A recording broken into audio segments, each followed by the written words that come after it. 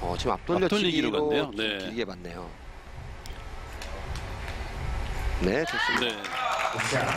느껴지기는 키스가 약간 있다고 좀 판단을 했던 것 같습니다.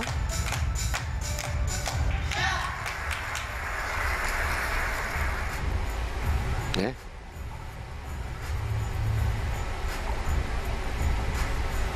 자, 그리고 옆돌리기 배치를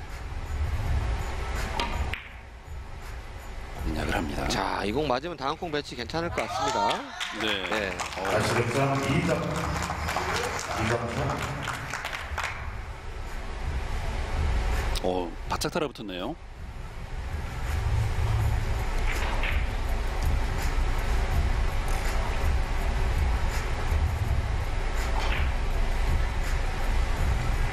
자, 옆돌려치기 두꺼운 두께로 키스를 빼내고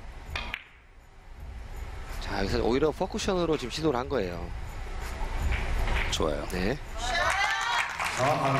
역시 농협은 기회를 줬을 때 네, 스코어. 아, 정말 놓치지 않는 팀 같아요, 지금. 어, 지금 4라운드부터 시작해서 14연승 행진이 끝나고 나서 지금 3연패거든요. 어제도 좀 아쉬운 패배를 당했었고요. 네. 확실히 팀 리그는 그 분위기가 있습니다. 어, 짧게 시도했어요. 어, 9대9 동점 동점. 포인트.